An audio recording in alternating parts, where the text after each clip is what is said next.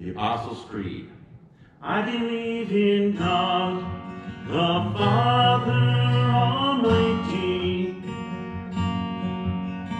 maker of heaven and earth, and in Jesus Christ, his only Son, our Lord, who was conceived by the Holy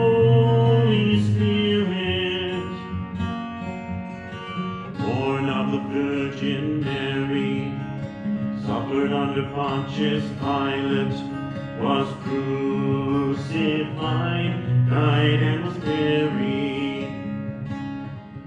He descended into hell.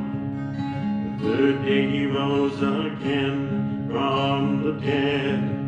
He ascended into heaven and sits at the right hand of God, the Father Almighty. From thence he will come to judge the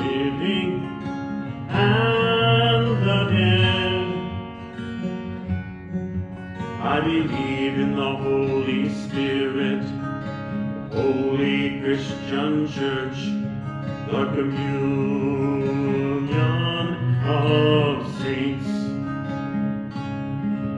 the forgiveness of sins, the resurrection of the body, and the life everlasting. Amen.